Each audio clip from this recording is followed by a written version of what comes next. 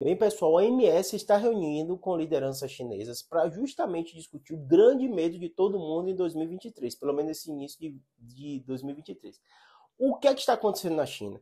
Que a gente sabe que eles mudaram a política do Covid zero, a gente sabe, que os hospitais estão lotados, a gente sabe, que eles aumentaram o número de leitos, a gente sabe, e que está tendo os maiores surtos desde o início da pandemia na China, a gente também sabe.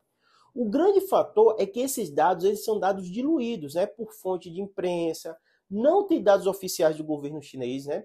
E foi um governo que controlou muito bem o Covid, apoiou todas as medidas que o MS deu, foi pioneiro em criação das vacinas, foi pioneiro também nas medidas restritivas.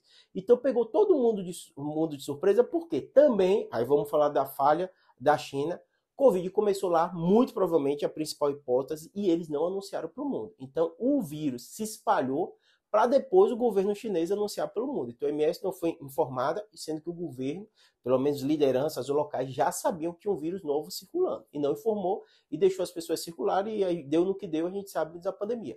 Se fosse uma medida falada desde o início, poderia ser diferente. Então qual o grande medo do OMS? Porque eles estão conversando lá. Porque a gente sabe que o que quer que a China fale sobre Covid ou sobre número de casos pode ter impacto econômico para lá. Então, a OMS tem muito medo dessa informação do governo não estar informando por algum outro impacto, né? E isso fazer com que surjam novas variantes de Covid e também pode não ser anunciado atrasar o anúncio. Então, esse é o grande medo da OMS, que marcou reunião, está reunido agora no início de 2023 com o governo chinês para discutir isso, quer saber os dados reais, o que é está acontecendo na China, que o mundo inteiro está saindo por imprensa, por isso e aquilo, mas eles deixaram de anunciar o número de mortes, deixaram de anunciar o número de casos também, que vazam 37 milhões no dia, né? Tem dados, assim, quando o dado não é oficial, a gente, óbvio que a gente quer quanto mais informação melhor, mas a gente ficou com uma série de dúvidas, né, da credibilidade desse dado. Que tal caos, que tá muito caso a gente sabe, mas que nível, né? Muito provavelmente pela população estar tá vacinada, não é nível muito alto de mortalidade, né? Mas de casos sim. Então esse é o grande receio de ter algum tipo de mutação e a OMS tem que acompanhar, porque se acontecer algum tipo de mutação, tem que saber como agir.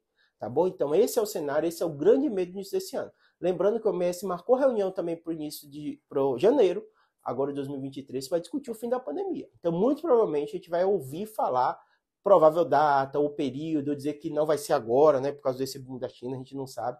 Mas a tendência, o próprio diretor tinha anunciado há pouco tempo atrás, dizendo que o início, que em janeiro a discutir já o fim da pandemia e muito provavelmente o fim da pandemia seria em 2023. Todo mundo esperava isso. Passou o inverno do hemisfério norte, agora seria dezembro, lá, janeiro mais ou menos, é se declarar o fim da pandemia. Mas vamos ver com essa novidade chinesa o que, é que vai acontecer. Eu acredito que não vai ter grandes mudanças. Apesar do boom de casos, a gente não, não imagina que surja uma coisa muito diferente. Óbvio que pode surgir por causa dessa grande quantidade de pessoas vacinadas lá.